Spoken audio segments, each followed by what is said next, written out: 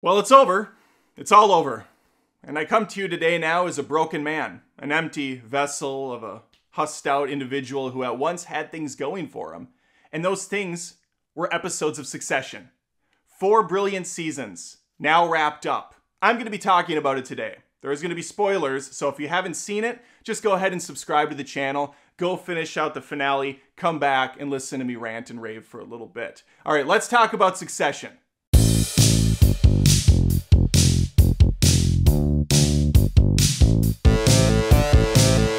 Way I can summarize this show for people that aren't familiar is to say it is the business equivalent, the white collar worker equivalent of Game of Thrones. You have a bunch of broken, terrible, disgusting, selfish Nepo babies under one house crest, trying to make their father both proud, jealous, angry, and every other emotion at the same time. These are broken, miserable people scratching and clawing their way for power. They will throw their friends to the wolves if that means getting ahead. They will toss each other under the bus if that means getting a promotion. There is nothing they won't do. A couple things that will turn people off of Succession. One, there's no heroes here. There's no good people to root for. They're all crap. There's different layers, there's different levels of it for sure, but not a single one of these people sets out on a path to do good. It's all about their internal struggles, often about the presentation and the window dressing and how best to step on people to get ahead and advance their own careers. Sure, they might act holier than thou, but it's all bullshit. And that's exactly what Roman Roy says in the final episode. We're all bullshit. We're all nothing. None of this matters at the end of the day. He actually knew this since the first episode, but it takes four solid seasons for him to get back to the place where he knew he belonged all along, which was adrift, outside of the family, hanging out at bars, just living life as a playboy philanthropist. Brian Cox brilliantly plays Logan Roy.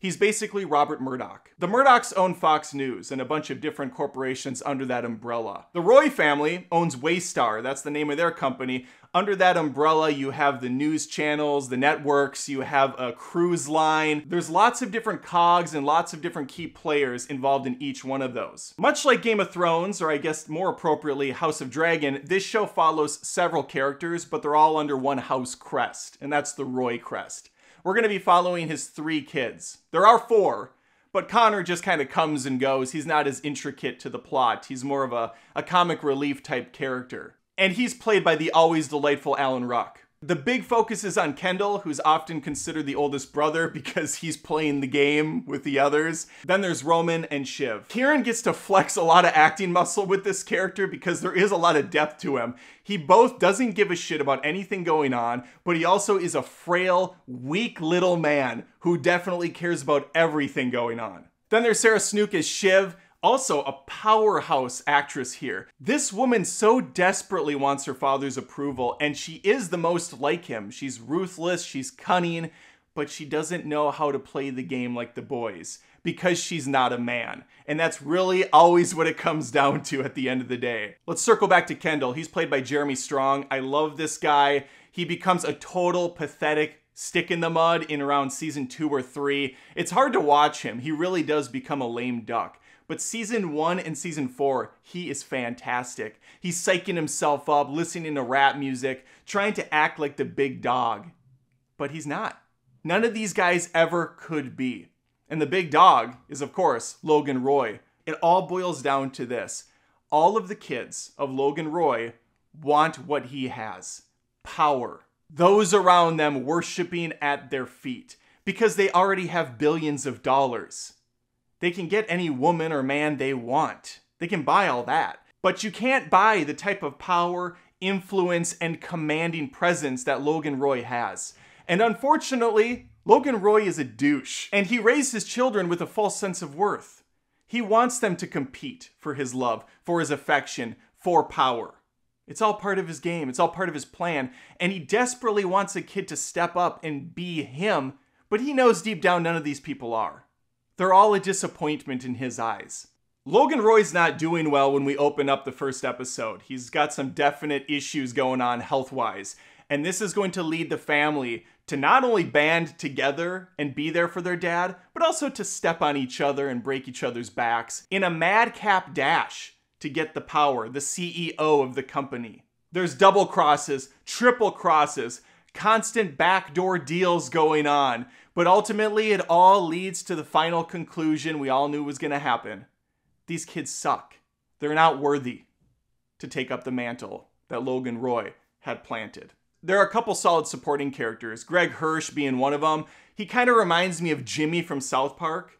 He doesn't have a speech impediment, but he has a hard time getting his shit out. It takes him forever to complete a sentence sometimes because he's such a bumbling dumbass. He's definitely the kindest and the most well intentioned out of all of them, but by the end of this, he's just as trash as the rest. When push comes to shove, he will absolutely do what's best for him. Bullying him through every season is Tom, Shiv's husband. I do air quotes because they are married, but eh, it's it's rocky. It's rocky at best. In fact, these two pretty much hate each other, and by the time the finale rolls around, it's just a loveless marriage that's completely for show. And I think it kind of always was. They might have had well intention at one point. There might have been a small part of them that yearns for love and companionship, but it will always be steamrolled by their ambitions to climb, to reach higher up the corporate ladder. The big twist in season four is that Logan Roy is killed unceremoniously in like the third or fourth episode. Out of 10 episodes, we have a lot of time where Brian Cox is no longer in the show. That hurt. That stung. It was incredibly out of nowhere, but it was real world. It wasn't some over the top extravagant death. He's killed off camera on a plane. And we spent an entire episode of the kids mourning his loss, going through every single step of the emotion grief, you know, loss, acceptance, anger, all that stuff. And this is really where these actors get to stretch their muscles. Sometimes maybe a bit too over the top. If I did have one criticism about the show, it's that sometimes it felt like the characters maybe weren't themselves anymore, but they were actually the actors putting themselves in those positions instead of playing the character. At times, the tears go a little long. It feels like they're really looking for that Oscar. but small hang up aside, some of those episodes are really rich. You have the whole episode on the cruise ship where they're they're just reeling from everything that's going on. Their world is crumbling around them. And then we have a full funeral episode where we get to see Logan Roy, his many different fiancées over the years, all of his trophy wives. And it's through these episodes that we see just how complicated their relationships are with each other and with their dad, whom they truly do love, but also despise at the same time. I think every kid deep down wants to love their parents and and feel rewarded by them and feel noticed by them even if your dad is complete trash there's still that part of you that yearns for their affection and for their congratulations for their notice. And Logan was so good at not giving them an inch. And when he did it was usually all bullshit it was usually for some bigger purpose. Whether it's covering up an accidental murder for his son Kendall, so that Kendall will basically be the reek of the show. Do whatever he says like a robot. Or on the drop of the hat, he'll fire Gerri for Roman because Roman's sending her dick pics. He doesn't go after his son, really. Sure, he scolds him, calls him a weirdo, but at the end of the day, he's going to protect his most important assets, which are his kids. And whether that's out of love or for the appearance purposes, it's hard to know with this guy. I do think when all is said and done, there was a compassionate side to the character. They do showcase this in the final episode when the kids all sit down and watch a home movie where he's singing a song around the dinner table. Incredibly well done. Another one of the many amazing moments of the show where we see these kids react and get the softer side of their dad for once. In the final season, everything crashes together. We have Luke Matsson, played by Alexander Skarsgård, who's this tech genius billionaire. He's like an Elon Musk type. He might be full of shit. He might have fake numbers, but it doesn't matter. He wants to acquire Waystar. And the kids are at a crossroads. Do they sell, cash out, make even more money? Or do they run the company the way that their dad would want them to?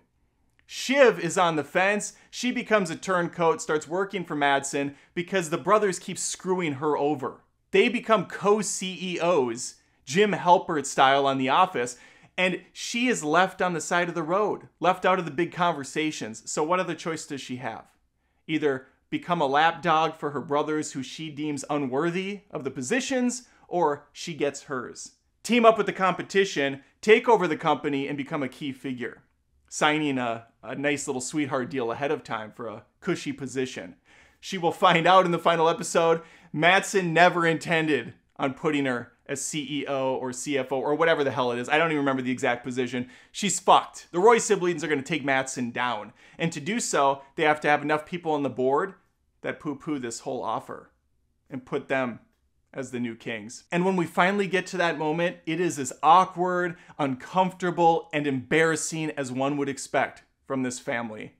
As not Roman, but Shiv backs out in the final moment. It is a tie vote, six to six. She can break it, they can get everything they want. She falters. She leaves the room. Kendall follows, followed by Roman. This leads to a five minute sequence, a confrontation that is just so hard to watch. Because right in the other room, the board can see them all fighting with each other. At one point, Kendall puts Roman in a chokehold. It's just brutal. Kendall has nothing else in his life. He's abandoned his wife and his child. He has burned every bridge, all for this power, because his dad promised him when he was seven years old that he would one day have the company. Of course, Logan Roy promised each of the kids this at different points in life, and they will latch on to this because their daddy said so. It's just sad and pathetic.